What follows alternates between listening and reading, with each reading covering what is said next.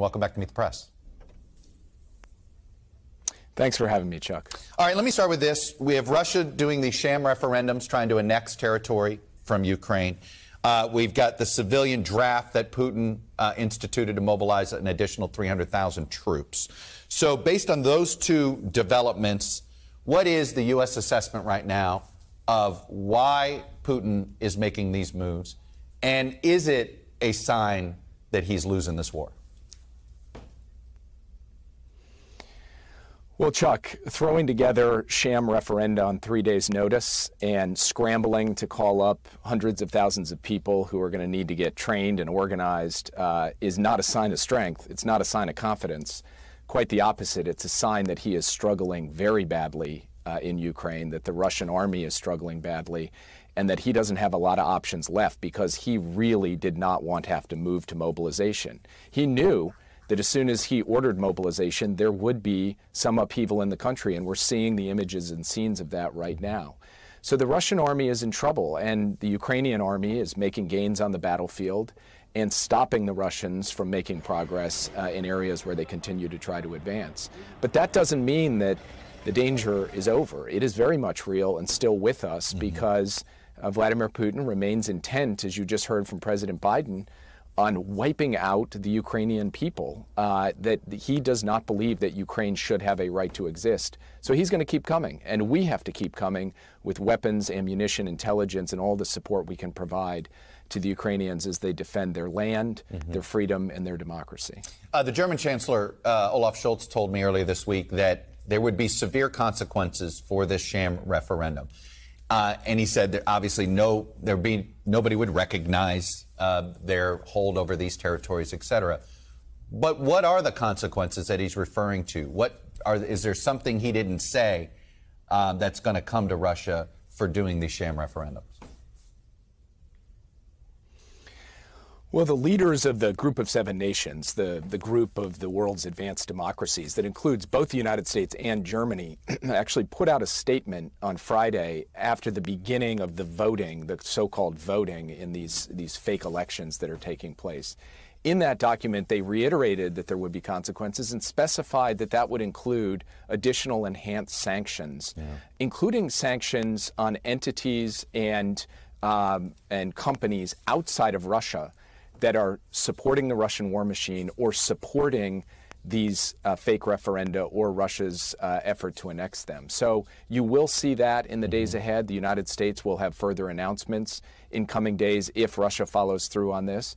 And of course, it will only redouble our efforts to right. provide Ukraine the equipment and weapons that it needs uh, to prevail in this conflict. While you were talking, we were able to show some footage of, of people voting um, with under the supervision of armed Russian guards. So, um, just to give folks a taste of what kind of referendum um, this is, I want to talk about the nuclear threats from Vladimir Putin. There was a report this week that um, folks in the Biden administration have made it clear privately of the severe consequences.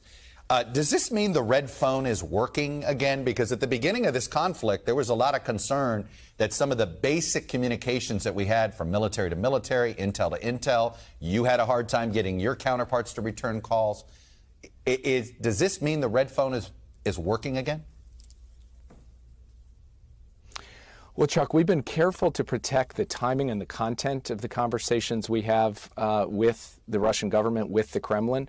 But the answer to your question is yes, we do have the capacity to speak directly at senior levels and to be clear about our messages to them and to receive their messages. Um, that has happened uh, frequently over the course of the past few months. It has happened even in just the last few days. But um, we have not wanted to indicate exactly what those channels look like because we want to be able to protect them so that we have the continuing ability to reach Russia and tell them in no uncertain terms for example, what the consequences would be, and they would be catastrophic if Russia went down the dark road of nuclear weapons use. I, I, guess the question is why the why the strategic ambiguity here? Why not draw a public line? If he's publicly threatening nuclear weapons, why not send a public message, which I'm sure the people in, in Europe and, and, Ukraine would like to hear, that says, "You cross this line, uh, Katie, bar the door, Mr. Putin." Well, let me say it plainly. If Russia crosses this line, there will be catastrophic consequences for Russia. The United States will respond decisively. Now, in private channels, we have spelled out in greater detail exactly what that would mean. But we want to be able to have the credibility of speaking directly to senior leadership in Russia and laying out for them what the consequences would be without getting into a mm-hmm. rhetorical tit for tat publicly. But we will not hesitate in saying publicly that there will be catastrophic consequences for Russia You've used if that they word twice. proceed, and the United States and our allies yeah. will respond decisively. You've used that word catastrophic just now twice. I, uh, I assume you will not give more definition to that, but should Putin uh, use the definition of his imagination there? Catastrophic is just that, as bad as he could imagine? Well, Russia understands very well what the United States would do in response to the use of nuclear weapons in Ukraine because we have spelled it out for them. And I will leave it at that today. Mm-hmm. But as far as the question of deterrence is concerned, you know, Russia will make its decisions, but it will do so fully understanding right. that the United States will respond decisively. And from our perspective, we will continue to be sharp and clear with them uh, so that there is no mistake about where things stand from our perspective. Um, I, earlier this week, I asked the Ukrainian prime minister what Ukraine needs to win this war. Take a listen to his answer. I always say to win this war, we need three main things weaponry, finances, and sanctions. Weaponry let us protect ourselves and to go into ahead to make these counteroffensives very successful counteroffensives with support of our partners. But we also need sanctions because Russia now earn uh, enough money uh, on the gas and oil uh, prices. So we need more effective sanctions uh, to stop fulfilled Russian terrorist uh, country budget. Uh, we also ask our partners to recognize Russia as a terrorist country because all what they are doing in Ukraine, so it's just genocide. This is like terrorist acts. So right now we have five countries that are state sponsors of terror, Jake. You know this, Cuba, North Korea, Iran, and Syria. Uh, the Ukrainians want Russia to become the sixth country we put on that list. Why haven't we done that yet? Well, President Biden has indicated that he is not certain that the state sponsor of terror designation specifically is the right fit for what's going on with Russia. But he's gone way beyond what we've done with some of the countries that you've listed in terms of the sheer comprehensiveness of the sanctions that we're applying. So, as a practical matter, whether we're talking about denying Russia access to the technologies it needs to power its economy and its uh, defense industrial base, cutting off its banks from the international financial system, mm-hmm. imposing personal sanctions on key oligarchs, the president has not pulled his punches at all. So this is just a matter of a particular tool and the degree to which uh, the upside of it outweighs the downside, which is that it does tie the United States' hands and reduce our flexibility without adding a whole lot of economic pressure to Russia. So we'll continue to talk to the Ukrainians on this particular item, but we fully agree with the Ukrainian Prime Minister, who I've met with personally, right. that we need to continue to amp the pressure on Russia economically, and we will do so. Uh, I also want to play a clip uh, from my interview with the German Chancellor who uh, believes that Putin needs to be held accountable for the atrocities taking place in Ukraine, but he's not ready to say he's lost legitimacy. Take a listen. Vladimir Putin. We're now finding mass graves in Ukraine. Has he lost, has he already lost legitimacy on the world stage to the point that he really isn't ever going to be let back in, essentially, to the global order? We are very clear on the question of justice, and we are preparing uh, to go after all the crimes that happen. And you- he'll be held accountable personally. We are doing the job supporting the courts. They are looking at the concrete uh, massacres and all the very, very bad things we, we saw at TV and we heard of. I saw them myself when I was in Kiev. And uh, so it is uh, necessary that we support justice and the legal system to do their job. But you're not prepared to say he's already lost his legitimacy? I think we are now working to make Russia understanding that uh, they will not win this war and that they should accept the independence and sovereignty of Ukraine, and this is what we are doing today. Uh, look, all wars have to end diplomatically at some point.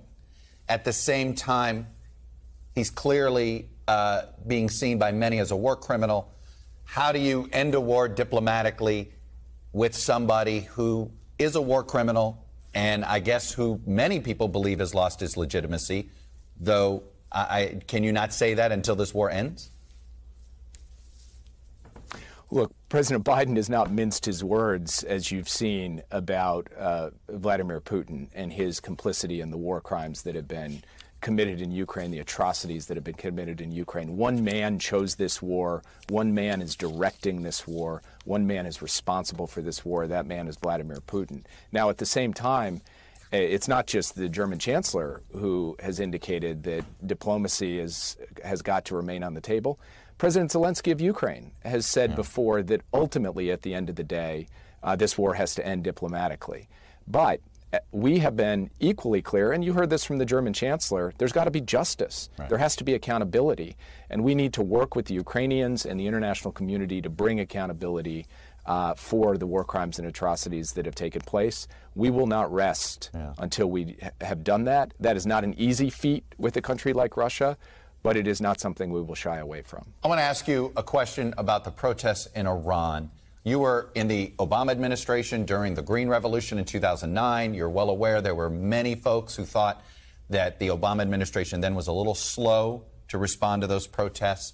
Um, is the Biden administration's response a response to that criticism way back when? Is, is, is, is there going to be an attempt to be much more forward leaning on these protests going forward?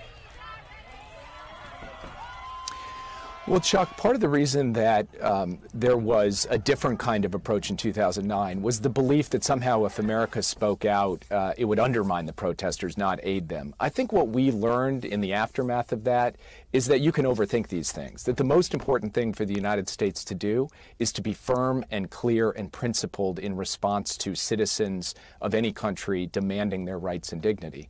And so, right after these protests broke out, our administration began speaking out. And the president, in fact, went to the well of the United Nations mm-hmm. and said that the United States stands with the citizens of Iran, the women of Iran, as they uh, demand their rights and their dignity and a better future in Iran. We have taken tangible steps. Uh, to sanction the morality police who caused this young woman's death. And we've taken steps to make it easier for the Iranian people to get access to the internet and yep. to communicate with one another and with the world. And we will keep speaking out day in and day out because this is a matter of fundamental justice, dignity, and rights, and the United States knows which side we are on. Yeah, the world needs to continue to see these protests and see what they're doing to these women. Jake Sullivan, the National Security Advisor for President Biden, thank you for coming on and sharing your views with us.